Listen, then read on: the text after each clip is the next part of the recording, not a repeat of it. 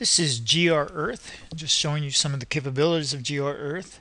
Uh, this is your main screen. You can zoom out, take a look at the world. You can zoom in. We're going to zoom in on the Northeast snowstorm on January 26, 2011. And first thing we're going to do is we're going to turn on the satellite. So we're going to go over here and click on GOES. And there is the big storm in the Northeast. Let's turn on water vapor. Take a little bit of time to load all the images depending on how many frames. You can go up here and you can set your animation settings. I've got mine to loop speed and then uh, I can go back 95 minutes. You can increase that quite a bit or you can reduce it uh, whatever you want. You make it one hour. And there we go. There's one hour. So we'll do that. And you see the low pressure winding up off the northeast coast and a big snowstorm. Let's turn the satellite off. Let's turn on radar. And I've got it on this here, you hit this button up here, the precip typing button, and it changes it from just regular radar to precip typing. You can see here, this is snow back here. This is rain, of course, and then this red area is freezing rain, sleet mixture. Uh, there's a color coding. It's a probability table. You can read more about that on the GR uh, Products, the Earth Manual.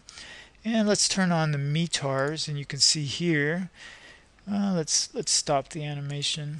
Go up here and stop that. Let's go hover over these. You see light snow, uh, freezing rain. You see the different icons uh, depicting the different weather. Of course, the snowflakes are snow, and then down here, rain, light rain.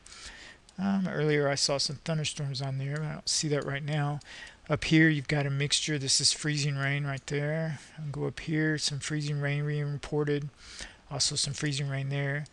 Uh, we can also right click in it. If you own the GR uh, Gibson Ridge the radar level 3 or level 2 we'll open that. So I'm just going to click that switches it over and uh, turns on your local radar. There you go. We're going to switch back to GR Earth. Uh, you can also click it and go to the National Weather Service forecast. This is for the Philadelphia area and you see winter storm warning. Uh, snow tonight 5 to 9 inches. Impressive and then uh, you can go back to GR Earth. You can right click anywhere and bring up the forecast. There you go.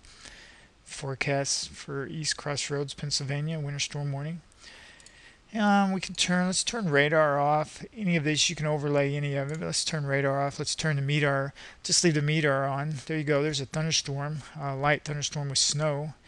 Uh, there's another one, thunderstorm in vicinity. Let's change that to temperature. Go up here to your METAR manager and see we change it to temperature dew point, wind, wind gust, and wind chill. We're going to turn it back over to the temperatures there. Let's go to, uh, let's turn on the mesoscale discussion. There you go. You see mesoscale discussion. Click it. Brings up your mesoscale discussion. This is probably going to be for heavy snow, and it looks like uh, looks like it is. Mesoscale discussion for heavy snow for uh, New York City metro area. I'm going to close that and turn that back off. Uh, turn on the mesoanalysis overlay and I've got that on the 850 millibar uh, option there. And turn that off put it on surface pressure and you see the low there 996 millibars off the coast. And you can loop this as well. Just take it through there. Uh, 10 meter wind another option there. You zoom in see the wind uh, right above the surface there. Uh, change that like I said 850 millibar heights. You can do the 850 millibar winds all sorts of options over here. Let's turn that off and let's go to uh, meso analysis fill. Let's set this on the three hour snowfall. This is a forecast for the upcoming three hours of how much snow is forecast to fall. Your scale is over here. Uh, you see half inch, one inch, one and a half inches, two, three. The red, you're getting into one inch per hour rates in the reds. Orange is about uh, two, two and a half inches over the next three hours.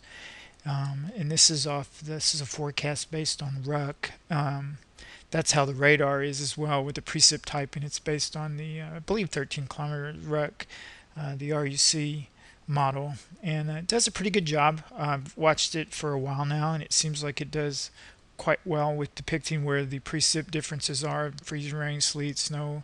Again, it's a probability scale. That gives you an idea of some of the uh, options on GR Earth. And you can find out more about that. Just Google GR Earth or Gibson Ridge Radar products. And uh, you can see see all the uh, products that are available. You zoom out here on the world, put it back on temperature.